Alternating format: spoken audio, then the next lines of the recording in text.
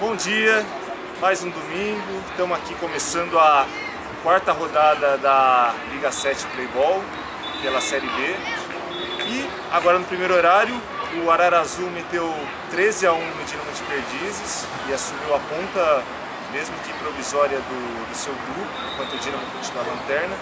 Estou aqui com o Ailton, camisa 5, fez três gols na vitória do time dele, destaque, né?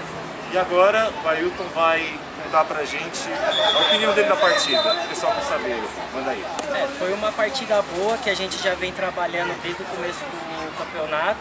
A gente está se acertando ainda, mas a gente está com bom desempenho, né? não perdemos nenhuma ainda. E a gente está tentando continuar assim, se alinhar para chegar na, na fase mata-mata bem. Certo. É, não sei se já havia perguntado, mas é o primeiro campeonato que se disputa? É o time primeiro recente? campeonato nosso. O time é recente? É recente. O time já vem de bastante tempo, só que essa formação é recente.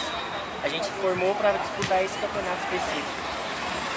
É legal fazer uns destaques do time, assim, da, da história. Então, para quem ainda não conhece o Arara Azul e está conhecendo agora, de onde você se conhece?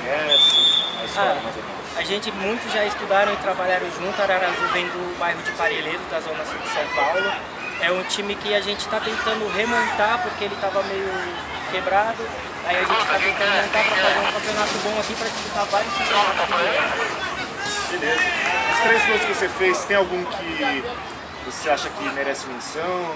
Olha, os gols específicos eu não gosto muito de mencionar, eu gosto mais de mencionar a partida em si, que a equipe fez toda, né? Porque o gol foi bem trabalhado, todos os gols foram bem trabalhados. A gente está trabalhando muito assim em coletivo.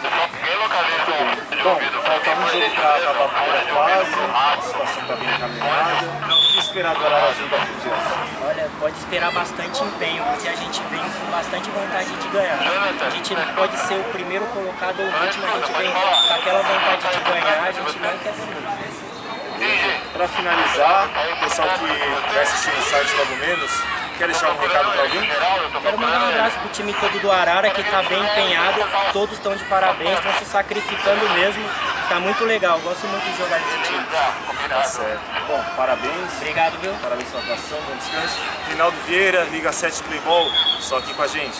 Grande abraço.